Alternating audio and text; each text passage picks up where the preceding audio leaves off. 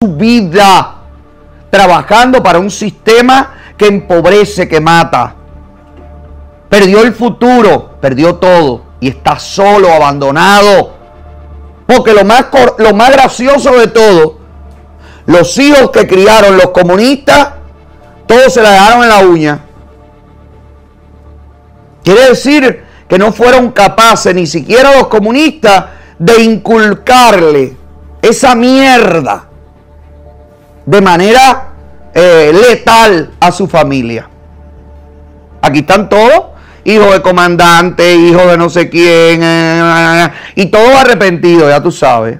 Bueno, el, el, no es Leicita, la nieta de García Fría, anda de gogocera.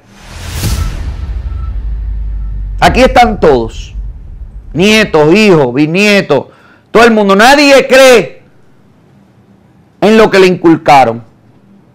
Nadie cree en esa doctrina maloliente.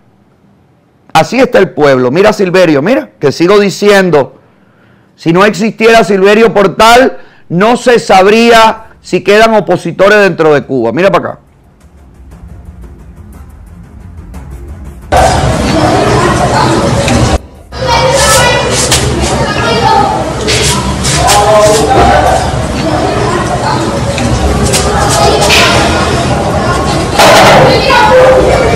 Valiente siempre.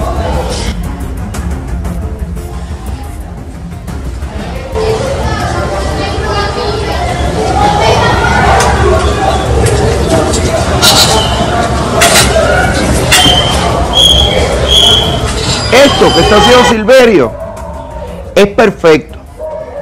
Es un símbolo fantástico. Usted se imagina que todos los cubanos que tienen un cuadro de Fidel, que tienen un cartelito comunista, que tienen un carnet del partido, que lo tuvieron y que todavía anda regando, regado el carnet del partido, salga y hagan todos una hoguera en los barrios y quemen toda esa mierda.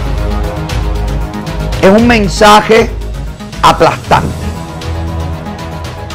Usted tiene que expresarse, tiene que dejarse ver de mil maneras. Silverio es un tipo que no tiene una preparación eh, iluminada. Y sin embargo, Silverio busca todos los días una proyección para demostrar y para llevar el mensaje de que el pueblo cubano no está complacido. De que el pueblo cubano quiere acabar con esa miseria que lo somete. Ah, Silverio, la dictadura lo tilda de loco. Los cobardes que no quieren hacer lo que hace Silverio, lo, tildan de loco.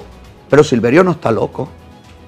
Loco están los que siguen con la timba llena de parásitos, emborrachándose abajo del bombillo de la esquina mientras juegan dominó. Esos son cobardes y locos.